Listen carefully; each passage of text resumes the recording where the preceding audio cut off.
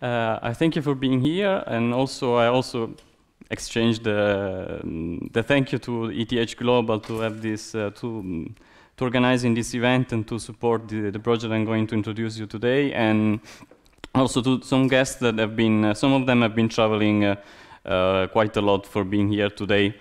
So I'm I'm not going to, to give to go into details of uh, everything because I'm just introducing, I'm just scratching the surface, and the other talk will give you more in detail. Uh, uh, more in details some some aspect about AIMS. I just want to tell you that we have two topics today. One is the African Institute for Mathematical Science. The short acronym is uh, AIMS, and a project that is being carried out between ETH and AIMS that's uh, called uh, DocMeUp about uh, prenatal cares in uh, rural areas. So first of all, in case someone have never heard about AIMS, uh, we are not here. This is not. Uh, we're not here for talking about Africa about charity. So this is actually the opposite. So we are here actually for considering as an investment. Uh, of course, this is uh, maybe over speculating uh, figures I took from the economies where the, the GDP is increasing uh, with a higher slope, in a steeper slope of. Pro Professor Rosenthal?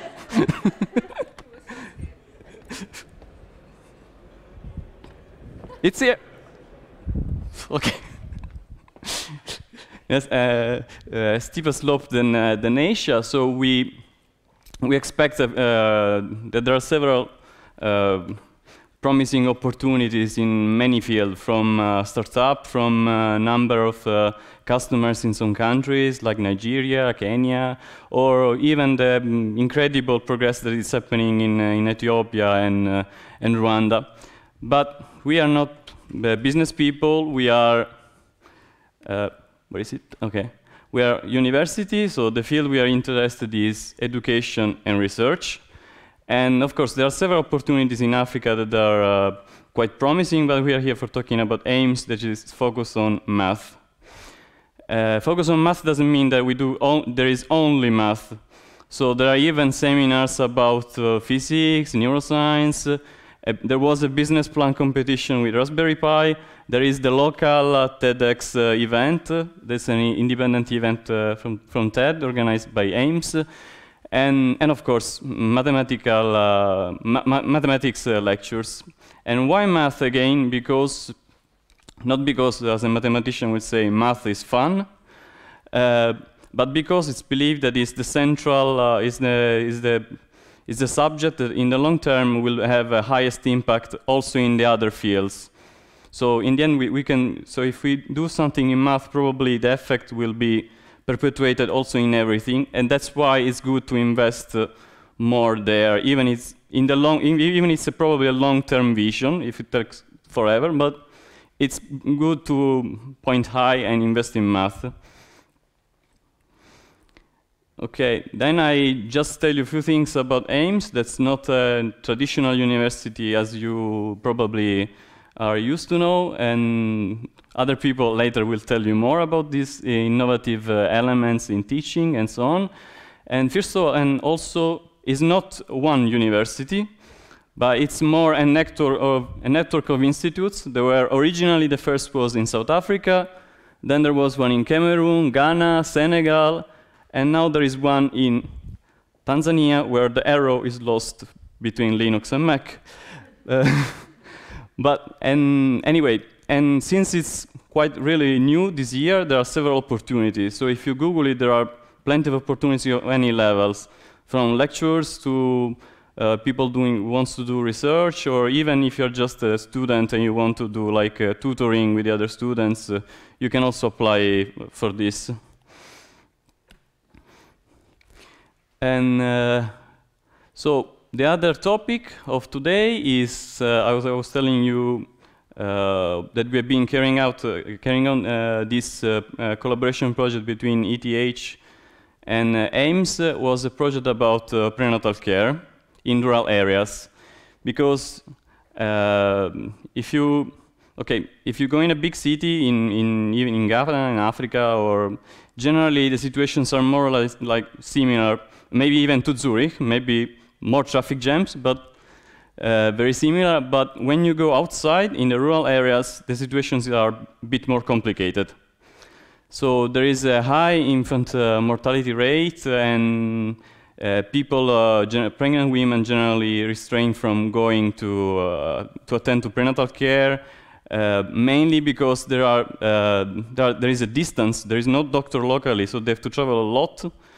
And of course, travel a lot is not also so easy because it means that that day they're not going to work. So it's, it's getting more complicated if you don't live in a big city.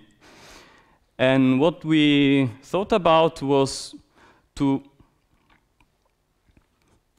to come up with some kind of ideas uh, about this uh, problem. So as you see, it's not exactly math directly, because we started with doing something more medicine and social science, and of course something related to computer, then now I'm going uh, to computer science, and there was something about applied math. Unfortunately, about the applied math, we are a bit behind because we underestimate uh, uh, all the troubles we were running into, but there, there was a math, mathing elements. So our approach is that uh, in each, we selected uh, some communities in, uh, in, rural areas. We went there, we spoke with the chief, we selected a person uh, from this community that is, is, not a doctor, was not a doctor and nurse, was just a person with a secondary high school education. We trained this person uh, and we gave them a mobile phone that they can use to relate to a uh, central system. Uh, this was done because they could monitor uh, locally all the pregnant women, so they were supposed to uh, uh, not knowing everything of uh, medicine, but just to monitor the pregnant women and in case alert us about, about dangerous signs and receive some instruction back. At the same time, the problem was still that the distance anyway, to uh, acquire an uh, ultrasound or ultrasound scans, they have to travel a lot. So this problem was still there. So what we came up with was to have someone who was not, again, a, a doctor, uh, but was someone a bit more educated. We, it, uh, we had the pilot with uh, Benjamin was actually a graduate in math, so it's much more educated. Uh, that was acquiring in the community the ultrasound scans, and almost in real time we were sending uh, the, the scans to the doctor to have some kind of feedback. And later they will tell you more about uh, how it ended up, but uh, was quite a successful uh, experience. Where, of course, this idea of uh, uh, selecting people directly from the community is not new. We didn't invent it but it's been applied in uh, other several experiments, let's say, or pilots. Uh, but the innovative thing for us was to include uh, to include in this in this system the acquisition of ultrasound scans. So, okay, this is maybe a bit dark picture, but these are some the, the women we were training. And okay, and later they will go more more in details to what they were doing uh, in the community. And I have a video that is not. Where is it? Uh, play.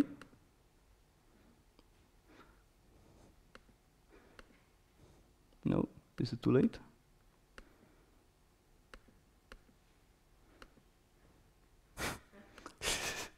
okay.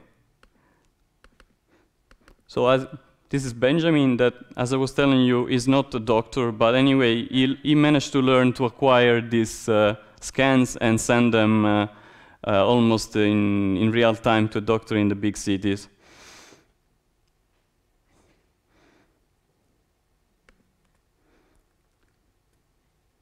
Okay. Hmm? What's this?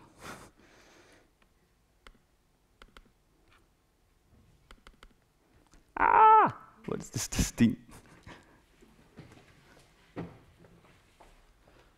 I'm almost done. oh.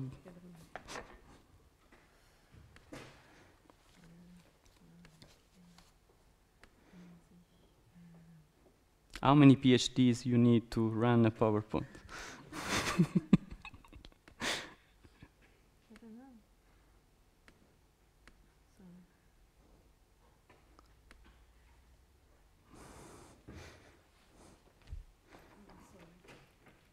well, they can review it.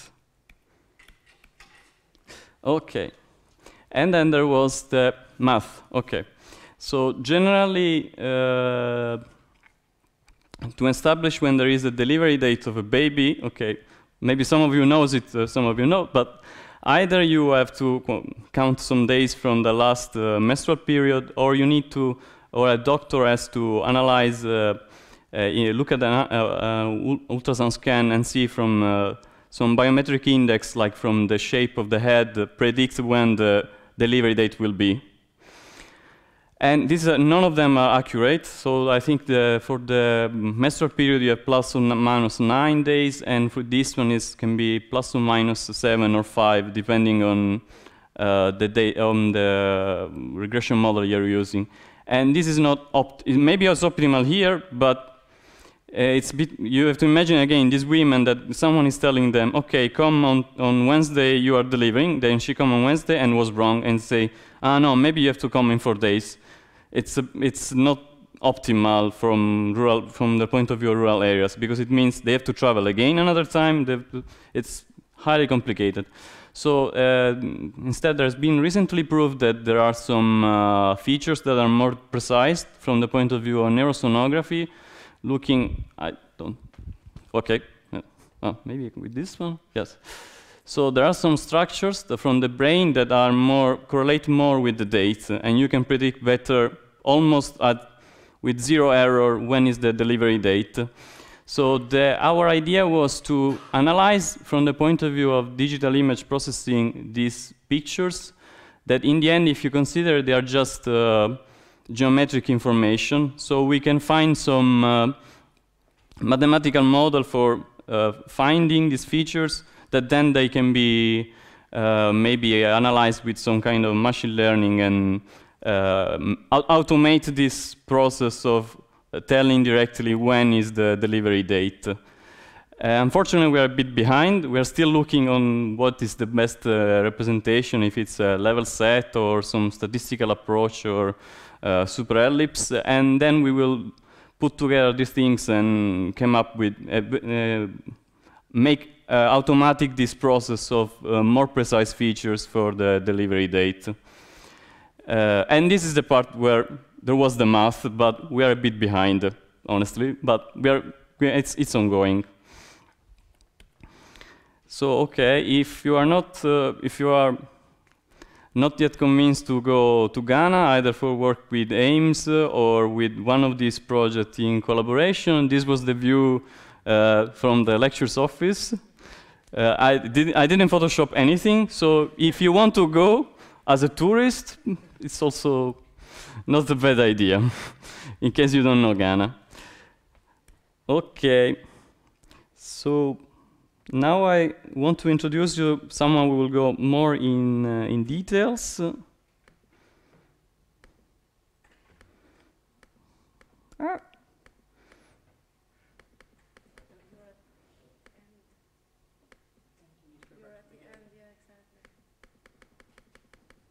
Ah, I was in the end. Interesting.